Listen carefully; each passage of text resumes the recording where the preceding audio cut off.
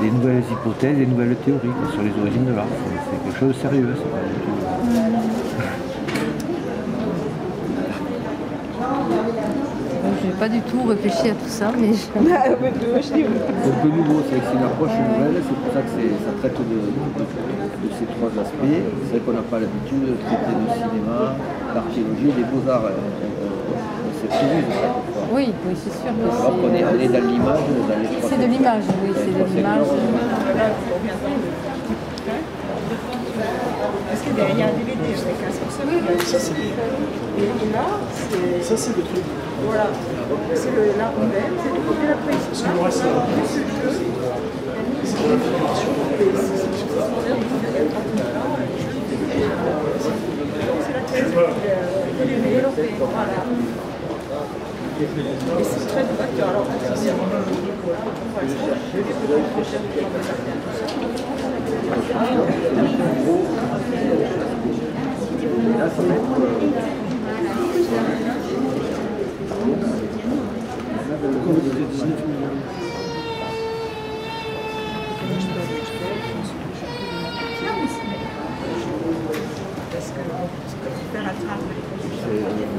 de la voilà. Ce qui est amusant, c'est que vous le verrez, c'est qu'ils ont les yeux vus de face. là. C'est très moderne l'idée, vous voyez là En fait, les yeux, on les voit là, ils sont vus de face. On comprend au Picasso à, à Voilà, Pompée. hein. comme, comme dans, comme- non, mais c'est ça, comme dans le cubisme.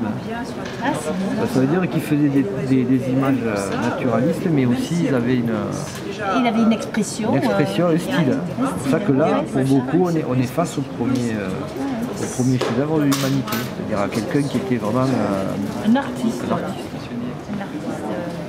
Un impressionniste. Voilà. Il ne pouvait pas utiliser euh, les lumières extérieures, mais il pouvait utiliser ce que. Alors, si, Il imageait. alors ils en faisaient, là ils imaginaient, ils utilisaient leur éclairage, mais sinon ils ont aussi dessiné à l'extérieur. C'est-à-dire il y a, il y a quelques oui. Conserver. Voilà, mais la plupart, ils n'ont pas été conservés. Mais par exemple, à- au Portugal ou en Espagne, il y en a des sites plein air. Et un des rares, le seul en France, il est dans les Pyrénées-Orientales. Ça, personne ne le sait. Un rocher gravé Ah oui, Berthaud dans Tavel. une vigne. Ah ouais Alors ça, c'est au-dessus de, de Perpignan, Du côté de Totavel, non du côté de Prades. Ah ouais. Et donc ça, c'est le seul témoignage en France. Mais donc, il- il- ça veut dire qu'il devait décorer tout. Oui. La peau, le bois, enfin... Oui, sauf oui, que ce qui nous reste, c'est oui, que les cavernes. Oui, oui, c'est ce qui a pu être conservé par rapport au- Par rapport au aux dégradations du.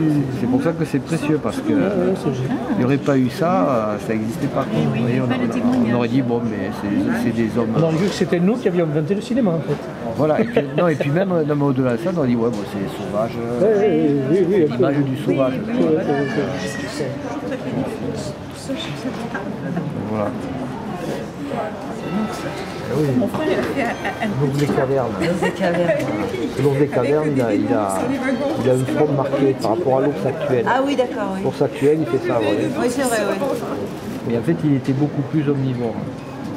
Ce qui m'a poussé à acheter le livre, c'est euh, bah, déjà parce que mon mari dessine, c'est un dessinateur, D'accord. et parce que moi j'aime le cinéma, et parce qu'on s'intéresse aussi à la préhistoire en tant que parce qu'on aime beaucoup l'histoire d'une manière générale et l'histoire, euh, voilà, donc c'est pour nos connaissances, no- notre culture générale, pour l'améliorer un peu plus. Quoi. Et là, vous avez l'auteur sous la main. Et voilà, en plus, alors, il, pour une il- fois- il est de Narbonne. Pour une fois, ah je savais même pas. Eh oui. Pour une fois qu'il y en a l'auteur sous la main, donc c'est très bien. Voilà. J'espère que vous allez vous régaler avec Eh ben, J'espère aussi en regardant le DVD et en lisant le livre et en, et en se rappelant les grottes qu'on a visitées, euh, Chauvet, euh, Lascaux et d'autres. euh. Ah ouais, vous êtes quand même déjà, euh, je dirais, de la- pas de la partie, mais Ben, disons qu'on est originaire d'une région où il y, en a, il y en a pas mal, puisque mon mari est de la Dordogne, moi je suis du Lot. Et entre les deux, on a quand même pas mal de, de grottes préhistoriques, euh, habitées ou pas habitées, avec des dessins ou pas des dessins. donc, pour- pour être sensible à ce genre de bouquin, il faut quand même un minimum de. Il faut que le terrain soit préparé, j'allais dire. un peu. Ouais, mais bon, de toute façon, euh, l'histoire est un éternel recommencement. euh, puis au moins ça prouve que euh, ce qu'on appelait les hommes dits préhistoriques et qui étaient des gros sauvages, ils dessinaient pas par hasard et il fallait quand même une sacrée technique pour arriver à dessiner comme ils dessinent. Il faut s'intéresser à, la fois au cinéma, à, l'art et, euh, et puis il faut, il faut ouvrir le livre parce que c'est vrai, c'est pour ça que je préconise de regarder aussi le DVD avant de lire le livre. Que les gens d'habitude ils vont, ils vont plutôt lire le livre et éventuellement lire le- le- voir le DVD. Je pense qu'il faut d'abord voir les images et après rentrer dans le texte. C'est alors, c'est 20 années de recherche, puis, euh, de recherche de- d'un préhistorien et d'un réalisateur, parce que je fais les, les deux activités. C'est vrai que c'est par ce double point de vue que j'ai pu euh, euh, rédiger le contenu de ce bouquin et mettre donc cette, euh, cette- Et en un mot cette, cette hypothèse comme quoi le, le cinéma serait conceptualisé dès les origines de l'art, il y a moins de 36 000 ans. C'est ce que dit le livre, c'est ça. C'est ce hein. que dit le livre.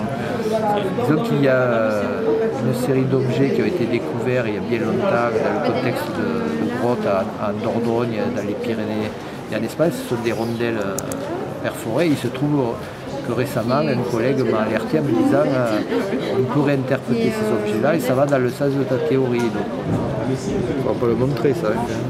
Mais c'est c'est lui qui les fait, les dessins dans les. Voilà, ben, en fait c'est moi. Les redessiner. C'est le scoop.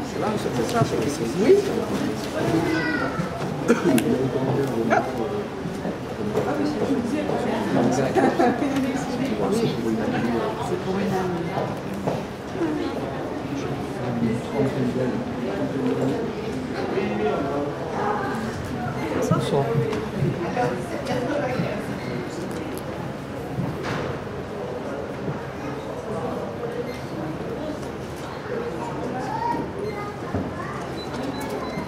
Il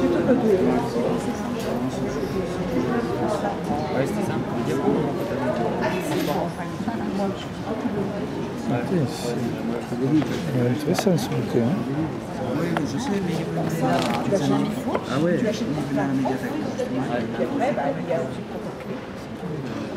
C'est que si d'ombre. Et ouais, Ça, tu dis, moi j'ai été le lycée,